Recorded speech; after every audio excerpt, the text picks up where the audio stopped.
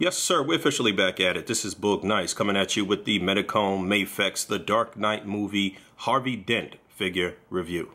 Let's do it. This ain't for no scalper. You a scalper? Then fuck out shit. This one's for them real collectors. That's army building and posing figures. Marvel Legends, imports, mini maybe I'm fucking with. Hype beast, we know about you. And a quick look at the artwork on the side of the box. You can see the Mafex logo. It says The Dark Knight Trilogy and a picture of the figure. And on the opposite side, Alright, so I have Harvey Dent, aka Two-Face, out of the package, and Mafex did a pretty good job on this figure. I don't have too many complaints. I have one major complaint overall that I'll get into shortly, uh, but this looks like it may be the same buck that they utilized for the Scarecrow figure with different shoes, obviously a different head. I will see when I do some size comparisons, but like I said, overall, I think it's a solid uh, figure here from Mafex. To be quite honest, I haven't been fully invested in the uh, characters from the Batman trilogy, but I've been picking up the villains because I always like to pick up villains from every line and because the villains have been in suited bodies and I've been building up my uh, just normal goons and stuff to use with other Mafex heroes and stuff like that. So uh, I had to pick this guy up basically and uh, you know I'm not disappointed like I said pretty decent. And taking a close look at his deco before I swap on his accessories as you can see they did a really good job with halving this guy and making him look awesome from both sides. I think they did a good job, especially with the burnt half. You can see his teeth through through his uh, jaw there, and I think the likeness to the character is definitely there, especially with the other uh, normal head. Uh, but my major gripe is the hair, and you'll see it more and more prominently stupid looking on the other head sculpt. But I don't know why his hair is gold. This is the SH Figuarts treatment here on the Mafex figure. You know, I've uh, complained about that a lot with SHF figures that they make uh, the characters who are supposed to be blonde gold headed and even some of the ones that are not supposed to be blonde and they're brunette have this gold highlight and uh, Mafex seems to be uh, afflicted with the same stupid disease. I don't know what's going on here but other than that everything else looks pretty good. You can see the burnt side. Uh, you know it's not burnt all the way down. I'm not sure if it was like that in the movie but his actual suit and the deco looks to be uh, movie accurate and you can see his tie and his shoes. And, you know, not much going on here. A gray suit. Out of the package, he came with these two open hands with the fingers semi-spread. And he also came with a couple of fists, and you should definitely be careful swapping these on. Mafex has had a lot of problems in the past with the wrist pegs, and this right uh, peg was a little hard to get the fist on there. And he's got a couple of fully open hands, and you should definitely heat these hands up as you're swapping them just to be fully cautious. And then he's got a right hand with the trigger finger extended. So let's get into the accessory that goes with that hand. And he's packed in with the trusty revolver, the six shot shooter. And you can see that it's chrome with the uh, rubber grip handle it seems like. That looks pretty good. No issues getting it in his hand. You can see his finger is uh, pretty much in the trigger groove, so that looks good. And he's got a couple of purple Nurple hands and uh, these will actually be utilized for him to hold his coins uh, which he's packed in with. So let's break those out. And these things are so tiny that I don't even know how well they're showing up. Hopefully you can see that but he's got a coin. Uh, he's got two of those actually. So uh, you got two coins. Focus. I hope that's showing up. And then he's also got a button so all movie accurate stuff here. And let's see how well he holds them. There you go. There's a look at him holding the button. And I think that looks really cool. But this thing is tiny. You definitely need to be cautious with swapping this on in and out of his hands and uh, even when it's in the package and you have the clamshell sealed I noticed that a lot of Mafex figures they don't seal as tight as some of the clamshells for uh, some of the other import figures. So things can still shake around in that package. So you definitely want to put some tape over the area where the coins and the uh, button sit in the package. And there he is holding the coin. So again screen accurate. Looks dope. I don't really have any issues with this. And it was a nice touch for them to put something so tiny uh, but so um, essential to the character. And then his final accessory allows you to swap out his jacket and swap the head and put him back to normal Harvey Dent so he doesn't look all burnt up and crispy. He reminds me of uh, Fire Marshal Bill, actually, if you're old enough to remember that. But yeah, you pop the head off, but not there. Actually, it's supposed to pop off at the neck. And that's not supposed to come out.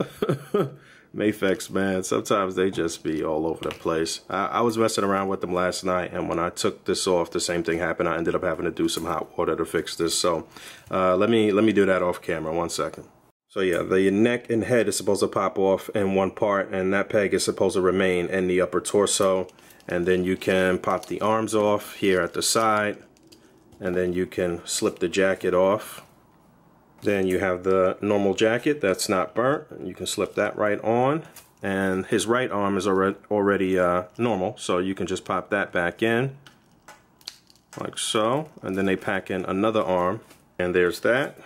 And once you plug that in, then you're going to need to remove the hand from the burnt arm.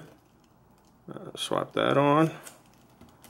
And then we'll put the head on. There's that and that looks good man. I think his neck looks a little long but I guess the actor's neck was kind of long too. Uh, I do think they got a good likeness to Aaron Eckhart. Um, when I was swapping it out last night and I removed the entire peg from the upper torso and just sat the head and neck in there it, it sat on there better uh, in my opinion. It looked better. Maybe I'll show that real quick. But overall I think he looks clean and I think the uh, the likeness is definitely there man. My only gripe like I said is this hair. It looks stupid as hell. I don't know why they would make his hair gold. Gold is not blonde. Come on, import companies. What are you guys doing? They even got his little butt chin, though, which is good. And there, I took the peg out, and I'm going to just sit his head in there without the peg. And I think that sits better. I think it looks better. Looks more natural. Going over his articulation, as you saw, there was a ball peg at the uh, top of the neck and, and the torso at the bottom, but the head moves independently of the neck and then the neck moves as well. You get a very nice range of motion, circular, full 360, it can pivot, uh, no issues moving the head. Shoulders are on ball joints, they come up pretty far. You can do a full 360. You get an upper bicep swivel that's kind of embedded in the shoulder there. It's not like a Marvel Legend or anything where it's uh, out here at the actual bicep, but it works fine. Uh, you get a little bit more than 90 degrees. I guess I consider that double jointed on the elbow, swivel and a hinge on the wrist. You do get a little upper torso articulation as far as going back and forward. Uh, it's on a ball peg in there, double ball peg, so you can see that. You know what, while I have him in half, let you see there's some uh, range at the lower abdomen as well, and he'll turn left to right. Uh, you can get the leg up just about that far. You can see a, a double sort of bell ball peg thing in there. Uh, it'll swivel just a little bit at the upper thigh. You do get a little bit more than 90 degrees on the knee. You get a swivel and a hinge and a pivot on the foot and also a toe joint. Let me get this guy back together. That was a pain in the ass to get that back, but it should be noted that this area here on his buttocks, on the uh, pelvis, basically, this is uh, a very soft uh, plastic, so utilizing the articulation on the legs, uh, it doesn't hinder it at all, and it works pretty well. It's a nice buck. It's a nice uh, body, like I said, if you don't want to use it for its intended purpose and you want to, you know, have some goons for Mafex, then you're definitely on the, on the right track with this guy. All right, moving right along. And a few quick size comparisons. You can see Scarecrow on the left and Joker on the right. And I said I wasn't fully invested into these, but it looks like I've been picking up the villains at least. I didn't pick up Bane. I didn't pick up Catwoman. I don't know if you would really consider her a villain, sort of like an anti-hero. Uh, I kind of want to go back and get Bane, sorta. Uh, again, maybe just for the, the base buck and maybe just to kit bash it or customize it or whatever the case may be. Uh, but like I mentioned, it does look like Scarecrow and uh, Two-Face share the same buck for the most part. It's just that uh, Scarecrow has the boots instead of uh, the shoes. And obviously the suit colors are, are different. But again, you're on the right path to building up some some goons. And there he is next to the old Dark Knight Batman on the right. I think that was the first one they put out, the one that has a broken hand on mine. And uh, it's barely holding on to that little peg. I, I tried to have him repaired, but it didn't work out as well as I wanted it to. And then on the left, the uh, Justice League Batman. Um, Mafex has done better with uh, uh, Dark Knight Batman 2 and 3.0. I think they've had three so far, maybe four. Uh, correct me in the comments if I'm wrong, but um, a lot of people still like the look of this first one though. And there he is next to the Marvel Legends Apocalypse Build-A-Figure Wave Wolverine on the left and the I don't even know what line made this figure, but it's from the Percy Jackson movie, and that's little Percy Jackson there. And people always ask me about this figure, and every uh, six months or so, I'll I'll break him out and show him and and tell you about him. But I just recently put him in a shot that should be popping up here, and um, and this figure is quite expensive on the secondary market right now. Originally, his hair was brown, but I had painted his hair blonde to work as uh, Phobos, as Ares' uh, son. Uh, but for whatever reason, this figure goes for like hundreds and hundreds of dollars online right now. And there he is next to the tra Transformers masterpiece, Wheeljack on the right. Somebody help me transform all my Transformers, goddammit. And uh, on the left, we got the Star Wars Black Series Snoke sitting on a Pokemon. All right, I'm getting silly. I'm getting out of here. I do think that Two-Face came out pretty nice. I think Mafex is continuously making some strides in the right direction. They have gotten better and better. Um, my two major issues with this guy is the hair and the swaps with the hands on the right hand in particular. So you definitely need to be careful and cautious as you are swapping. Mafex is known for some breakage, especially at the wrist, as you saw my Batman from way back when uh, was uh, was damaged, was broken. But um, again, for me personally, I think this was worth a purchase because I am building up all of my goons, no question about it.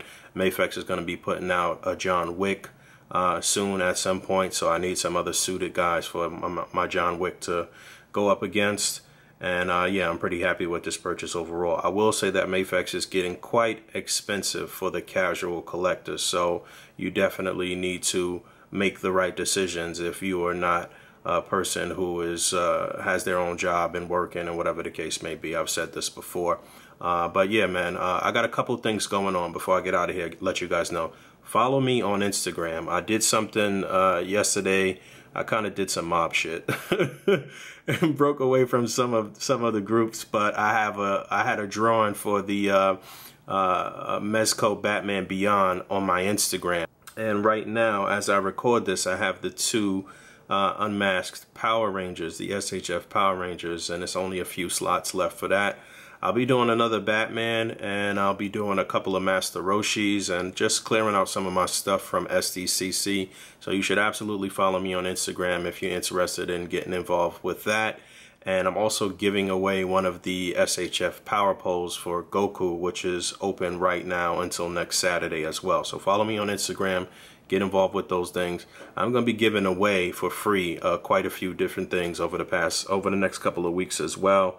Uh, don't don't let these guys fool you, man. Anybody who's um, doing reviews at at least my level because I'm on the low end of the, the totem pole, to, to be perfectly honest. I'm not even where I should be as far as uh, views and subscribers for the amount of time that I've been on YouTube, but I haven't been really uh, going in as far as reviews go. Uh, but anybody who's at my level, at least, or anywhere above, they're getting a lot of free shit, all right? they're getting a lot of perks and a lot of things from the companies, and they should be giving away stuff, and I should be giving away stuff, so I will be.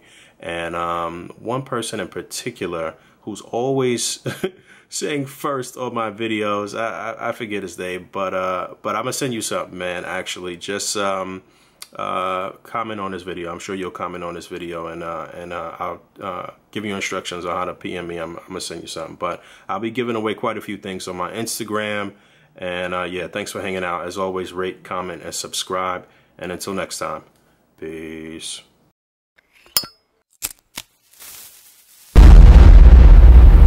That's crispy.